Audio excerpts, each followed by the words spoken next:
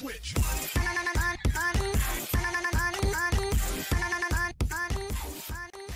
Добрый день, скажите, как вас зовут? А, Меня зовут Лариса. Меня зовут Александр. Откуда вы приехали? Страна, город? А, Вообще у нас такая ситуация, я вообще из Казахстана, из города Павлодара, а мой муж россиянин, Саратов. Города Саратов. Города Саратов. Но вообще мы приехали из Казахстана. А с кем вы приехали? Ну, вы семья, да? У вас еще дети с вами приехали? Еще двое детей. Один из них уже совершеннолетний. Ясно. Когда и в какой момент вы решили переехать в Германию? Я вообще э, собирала документы еще до рождения дочери в 98 году. Тогда мне пришел отказ а, по той причине, что мы поменяли э, национальность. Сначала записали русское, потом решили поехать и записали немец, и отказали. А теперь была программа, по которой э, таким отказникам э, возможно было переехать в Германию. И мы э, воспользовались этой программой и сразу же подали антраги, э, по которым буквально сразу э, через полгода мне пришел вызов. Да, это будет один из моих следующих вопросов. Как долго вы ждали с момента подачи документов до вызова в Германию? Да, вот э, через полгода из-за того, что я до этого уже посылала и э, сдала шпрахтест. А, то есть шпрахтест был сдатель. Был сдат шпрахтест, и они его засчитали, прошлый, в 98-м, который был сдат, его засчитали. И из-за этого мне не пришлось сдавать на Б1 ехать, э, пришел вызов без шпрахтеста. Тогда следующий вопрос к Александру. Как долго вы учили немецкий язык и до какого уровня? А немецкий учили мы с коренным успехом, наверное, года два. Но плотно занялись буквально последние месяца 3-4. Занимались мы с репетитором и, скажем так, именно занятия с репетитором нам дали больше знаний, чем таких знаний, которые на курсе мы посещали, потому что а, на курсах дают информацию, но мы, во-первых, и сами не сильно так учили, потому что знали еще как бы время не подходит. Наверное, когда уже ситуация подгоняет, тогда уже и быстрее начинаешь изучать язык. А вот касаемо шпрахтеста, как долго ждали вызов на шпрахтест? А, Буквально сразу после того, как пришел мне вызов, они прислали письмо э, через э, пару месяцев, что э, старшая дочь должна пройти шпрахтест на А1.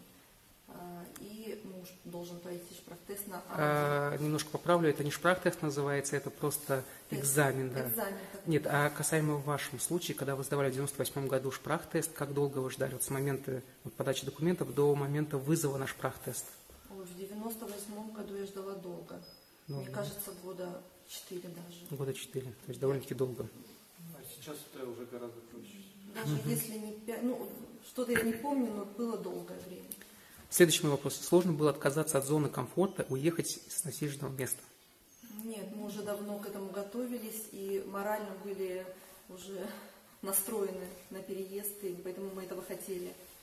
И на самом деле не стоит бояться, здесь не так все страшно, здесь все Здесь предельно понятно, и если что-то возникают трудности, здесь Очень всегда добро- доброжелательно. доходчиво объяснять. Хорошо. Какие советы вы можете дать новичкам? Касаемо переезда. Во-первых, не бояться ехать в неизвестность, потому что на самом деле та поддержка информационная, которая оказывается здесь, а, не в каждой стране, мне кажется, оказывается. И сейчас очень много материала как в интернете, как и здесь можно получить. Все-таки здесь русскоязычных людей достаточно. И во всяком случае не нужно думать, что едешь в неизвестность и думать о том, что будет завтра. Я бы сказала, что э, незнание э, такого э, полноценного да, языка, это тоже не должно э, напрягать, потому что сейчас, э, если, конечно, будут спрашивать все на немецком, говорится все на немецком, но если вы вдруг э, не сможете ответить на какие-то вопросы или что-то не поймете, э, вам скажут это на русском, они настолько доброжелательны. Э, Сначала мы этого не понимали, но когда у меня был какой-то вопрос, и я, ничего не говоря, просто скривила лицо, э, что, как бы я не понимаю, сделала такой вид, и мне с улыбкой ответили все это на русском. Поэтому не бойтесь. То есть никаких- бояться не надо. Нет, переводчиков никаких здесь не нужно. Вы все поймете, здесь все на двух языках. Везде э, реклама или э, всегда на немецком, э, на, на русском и еще на арабском, по-моему, идет, на трех языках. То есть вы все поймете или вам все покажут жестами. Хорошо. Тогда расскажите мне, пожалуйста, о своих первых впечатлениях о Германии. Во-первых, воздух. После того, как мы переехали с Казахстана, я как будто попала в какую-то горную местность, что ли. Это очень ощущается.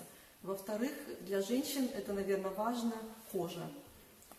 У меня всегда сохла кожа, э, и после принятия душа мне приходилось всегда намазывать э, тюбики крема, э, и все равно стягивание шло.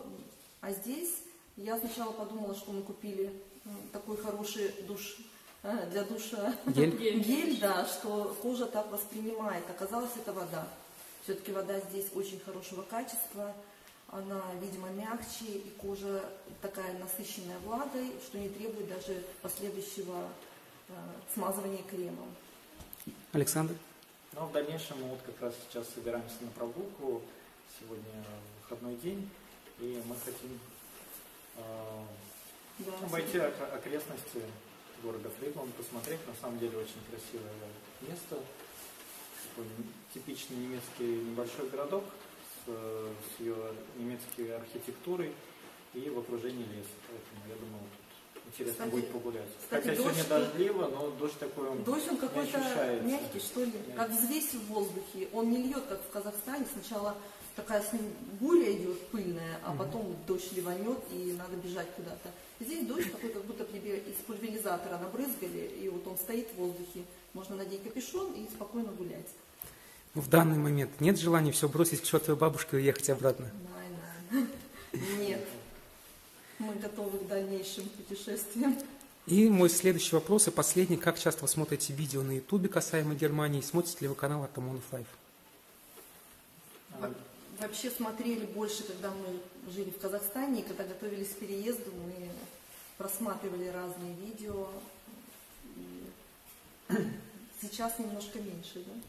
Ну, да, я тоже так скажу, что э, всегда вот был предыдущий вопрос, боимся ли мы сюда ехать, да? Вот именно из-за этого, из-за страха, то, что будут нас ожидать трудности, конечно, мы все пересмотрели, все, что возможно, все каналы, в том числе и ваш, а, в поисках э, информации. Я считаю, что на самом деле на этих каналах дается очень много полезной информации. И все, что если вы даже здесь на канале не узнаете, то вы можете даже при встрече здесь уже как бы получить полную информацию. Спасибо вам большое. Вы свое, это же видео тоже увидите на моем канале Атамонов Life. Желаю всего доброго и хорошего.